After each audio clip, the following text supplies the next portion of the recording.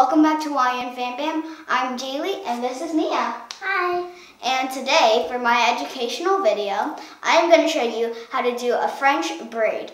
And for my model, and I'll be using her hair for, is Mia. She's going to be helping me. So yeah, let's do it. Alright guys, you want to start out by combing your person's hair, like so. Um, head to be up. Okay, thank you, Audie. Just stay like that. Good job, Mia. Big shout out to Mia right now. She's helping me a lot. Um, you want to take a little part, see, just a little part of your person's hair right here. And you want to separate that little part into three strands. Then, if you know how to do a regular braid, you should look into doing a regular braid before doing a French braid. And twist and braid it just two times, just that little strand. So I just did one and two. Now you can start from any strand. I'm starting from the any strand. Just pick one of the three. And you're going to collect from one side to that strand. And then the next side, you're going to collect that strand right here. Perfect.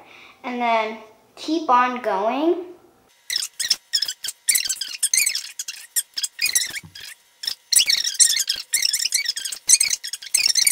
When you get to the end, you have no more hair left, just a bunch of baby hairs. You can leave that or you can perfect it um, while putting water in.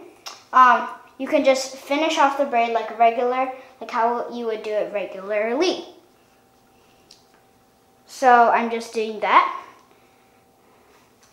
And then you can just take a regular, put your head down, a regular rubber band, um, using an elastic, and just tie it up.